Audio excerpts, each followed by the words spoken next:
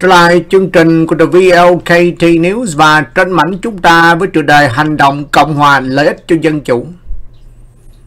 Câu chuyện này là câu chuyện lùm xùm cuộc đòi chiến đảng Cộng hòa của chúng ta.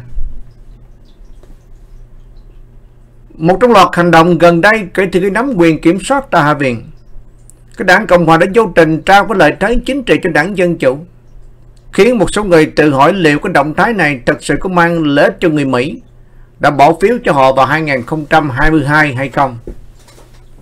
Cái thế đa số của đảng Cộng Hòa tại Hạ viện mặc dù hẹp nhưng đi kèm với những kỳ vọng cao và hứa hẹn mang lại sự thay đổi thật sự. Tuy nhiên, việc xem xét kỹ lưỡng các hành động gần đây của họ đã đặt ra những câu hỏi liệu họ có đáp ứng được những kỳ vọng đó hay không. Điều thứ nhất, bất ổn sự lãnh đạo. Đảng Cộng Hòa đã bắt đầu cái nhiệm kỳ của họ với cuộc chiến kéo dài để chọn tân chủ tịch Hạ viện giải quyết ông Calvin McCarthy.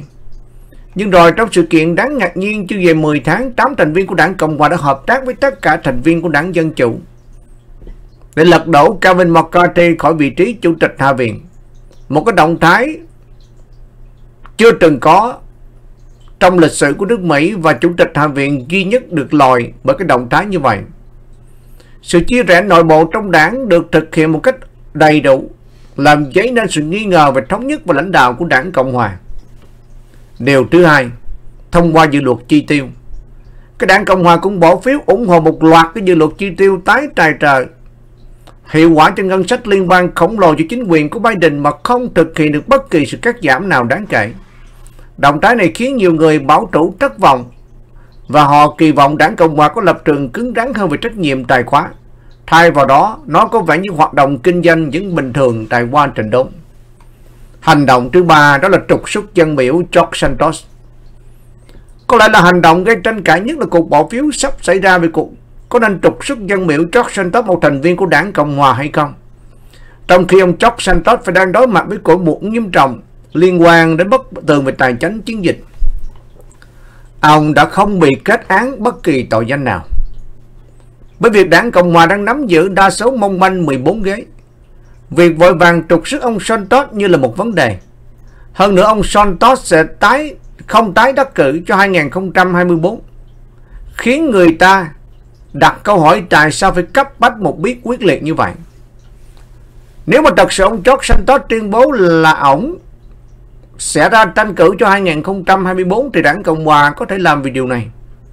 Nhưng mà ông George Santos tuyên bố là ông không ra tranh cử cho 2024. Thì tại sao chúng ta phải làm điều này?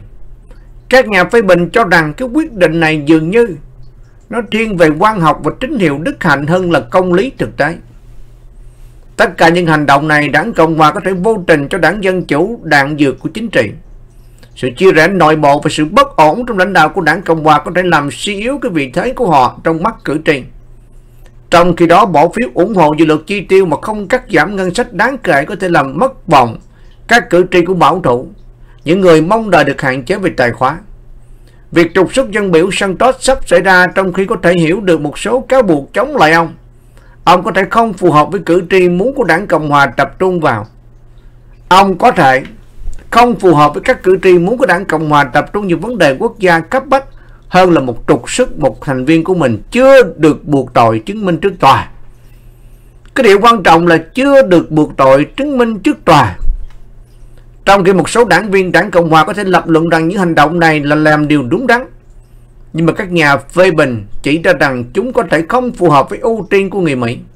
Người muốn thay đổi có ý nghĩa hơn.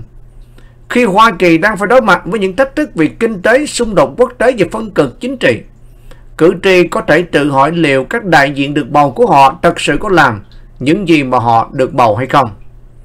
Khi đảng Cộng Hòa điều hướng những cái vùng à, nổi loạn này thì họ phải cần xem xét sự cẩn trọng về hậu quả chính trị của nó. Và đó là chương trình của The VLKT Nếu và đó là những gì người ta nói rằng là chỉ có tội khi tòa án tuyên bố. Mà tóm lại thì có vẻ như đảng Cộng Hòa chúng ta hết thuốc chữa. Chào tạm biệt và hẹn gặp lại.